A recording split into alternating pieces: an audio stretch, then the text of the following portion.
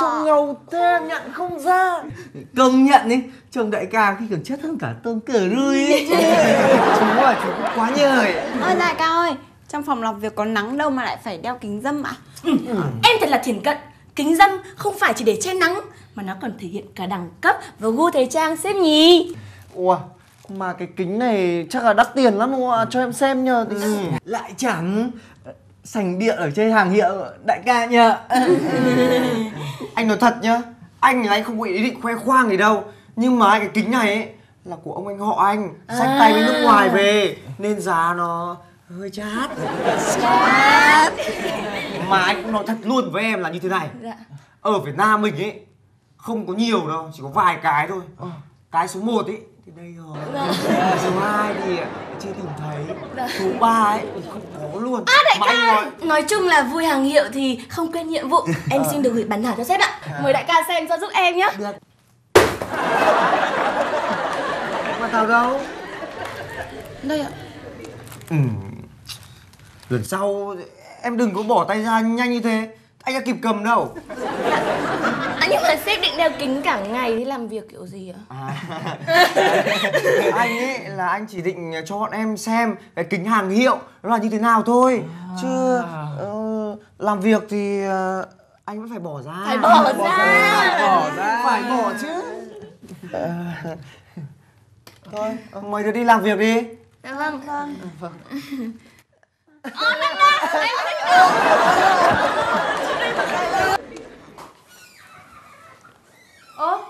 Cả phòng đang làm việc đấy à? Này này này Nghỉ tay. Ra ăn hoa quả. Lộc đi chùa đấy. Nhớ đấy Này. Ăn đi. Ơ Sếp quyết rồi. Đại ca đi học rồi cô ạ. Hôm nay có phải ngày rằm hay mùng 1 gì đâu mà cô đi lễ chùa à? À Người ta đi chùa Xin cầu duyên đấy. Mà thiêng thật cơ. Hôm trước vừa mới đi chùa Hôm sau đã có người mai mối giới thiệu rồi đấy. Cô đi chùa nào mà thiêng đấy ạ? ừ. Bà hỏi làm gì? Tôi nói thật Chứ bà đi cầu thế cầu nữa Cũng chả ai thèm ngó ngàng đâu Chỉ tốn hoa quả thôi. À, tôi hỏi là hỏi cho cái kẻ mà mang tiếng là đào hoa ấy. Thế nhưng có ma nó ngó ngàng đâu. Bản thân Kiều Linh đây xinh đẹp dạng người Ở vậy cho dai nó thèm. Thôi gớm Các cụ nói cấm có sai Yêu nhau lắm cắn nhau đâu. Mà nhìn hai đứa cũng đẹp đôi đấy Ui Cái phòng này đẹp quá nhỉ? Chắc là chụp ảnh sẽ rất tuyệt đấy. Đúng rồi Mình phải chụp ảnh Để gửi cho thằng ấy đấy. Cô để anh Phan chụp cho Anh ấy chụp ảnh là số 1 đấy. Ấy không không không. Mốt bây giờ là tự sướng nhá. Thế thì nó bị ảo Mình cũng thế à, ừ. Này đứng lên nằm lên nhanh Làm Đứng lên nằm lên Làm Dạ dạ ok Anh nhau Của tôi. Ông một cười nhở? Tôi nhìn thấy trước nó là của tôi. Của tôi?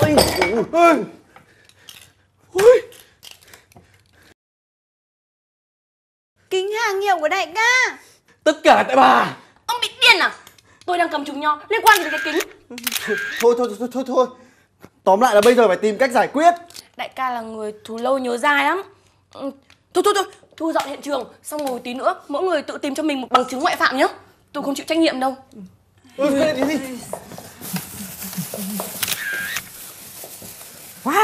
hơi bị đẹp. Thôi này Mấy đứa làm việc đi nhá. Tớ đi đây. Vâng vâng vâng vâng, vâng. Khi nào có dai tớ sẽ báo nhá. Vâng vâng vâng. Thôi thôi đi. Ừ.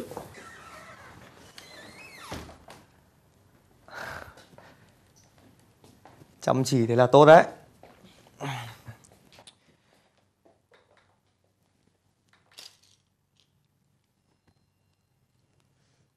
Ai Ai Ai đã làm gây cho kính yêu quý của tôi. Ôi, Sao lại có kẻ dã man tàn bạo vô nhân đạo như thế chứ? Đưa đây Em mà biết được thủ phạm thì chắc chắn bắt hắn viết một nghìn lần xin lỗi đại ca. Đồng thời bắt hắn à, bóp bụng, nhịn ăn, mua đền cho đại ca kính mới mới được ấy ạ. Mọi chuyện đều có lý do của nó. Chứ kính để ở đây Không thể nào tự nhiên nó gãy được. Thủ phạm Nhất định là một trong số các cô cậu. Ê Đại ca nói như thế là quá phiến diện Trước khi đại ca muốn kết tội bất kỳ ai ở trong đây Đương nhiên phải có chứng cứ. Ừ, Em không đồng tình. Được. Thế thì trong lúc tôi đi họp Các cô cậu ở đâu? À, lúc đấy em xuống dưới sảnh lấy hóa đơn hàng à, mua trên mạng có bác bảo vệ làm chứng. Hóa đơn có đây này. Ơ, lúc nãy em xuống tổ họa sĩ, em mượn mấy cái bản thảo. Mấy anh ý cứ khen em xinh mãi. Tức là em có chứng cứ ngoại phạm.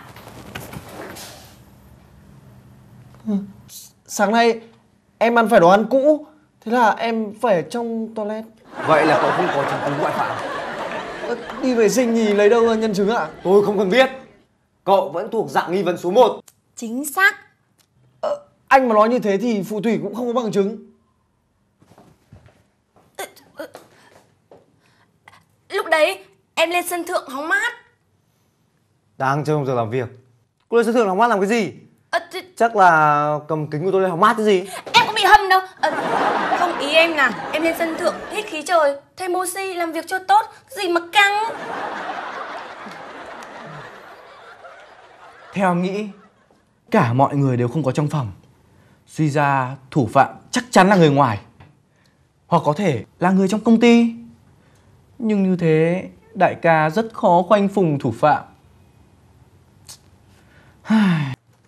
May quá, cứ tưởng mọi người về hết. Nhờ sếp cóp cho mấy cái ảnh ra với.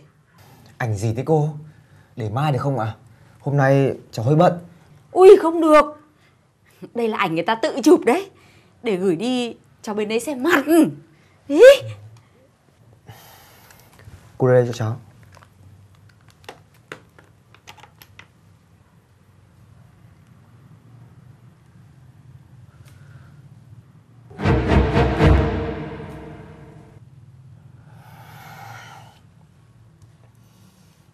Mấy đứa được lắm. Để xem Vỏ quýt dày thì đã có móng tay nhọn. Ừ, Cô Tâm ơi cô cô cô có các móng tay không? Cho, cho cháu mượn. Hả?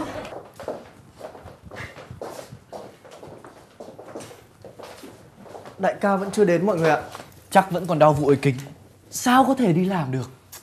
Mà em nghĩ lại, không biết mình làm như thế có quá đáng quá không nhở? Một người như đại ca chắc không bao giờ chịu bỏ tiền túi mà mua một cái kính đắt tiền như thế nữa đâu. Biết thế. Thế nhưng Nana Mình mà thương đại ca Thì ai thương mình? Hay em tự nhận mình là cái kẻ đè lên cái kính Rồi bóp bụng mua đến cái kính xịn khác đi? Bà! Ơ sao bàn thảo mình vẫn đây nhỉ ơ mọi người ơi! Sao cái kính vẫn còn nguyên vẹn ở chỗ này? Ơ không hề có vết dán keo. Sao lại thế nhỉ? Thật đó ờ.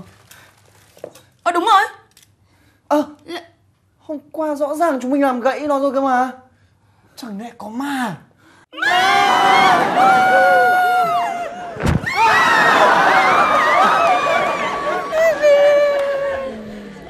Thế là rõ rồi nhá. Thủ phạm làm gãy chiếc kính của tôi chính là các cô các cậu. Đại ca. đó hoàn toàn là sự việc ngoài ý muốn ạ. Vâng đúng rồi đấy ạ. Đại ca ơi, bọn em không cố ý đâu. Đại ca tha cho bọn em nhé tha? Á tha? Vâng các cô các cậu biết giá trị của một kính thì nó bao nhiêu tiền không? Mà nói tôi tha hả? Phan hôm qua cậu nói hình phạt của kẻ làm gãy kính. Là gì hả? Chép phạt và và tiền ạ cái kính đấy trị giá mấy triệu đồng cơ? Các cô cậu có đền nổi không? Mấy triệu à? Sao? Bây giờ cậu lại cò quay với tôi đấy à? Kính của tôi hay kính của các cậu? Nhưng được rồi tôi thương tình. Tôi sẽ không bắt các cô các cậu đền tiền. Thay vào đó tất cả sẽ phải mời tôi đi ăn một bữa lẩu hải sản. Rõ chưa Đại ca đúng là rộng lượng Tấm lòng quảng đại bao dung ạ. Đúng đúng. Đại ca nhà mình đúng là phóng khoáng hơn người. Chúng em đội ơn đại ca.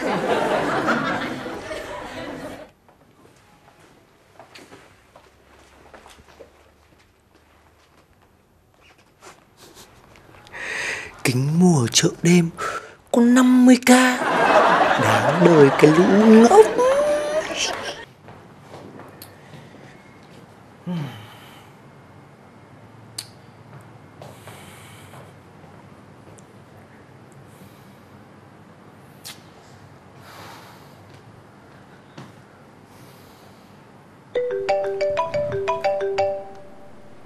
Sao mà lâu thế? Anh order hết rồi đây này. Cái gì? Có quà cho anh á? Nhân viên mang lên bây giờ à? Anh ơi có người gửi đồ cho anh ạ. Em gửi anh.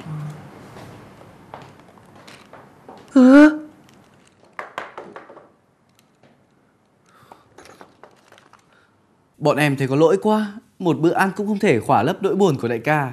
Thế nên bọn em mua kính mới đền cho đại ca đây ạ. Chúc đại ca ngon miệng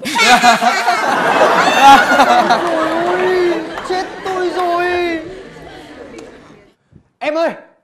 Anh hủy order được không em ơi?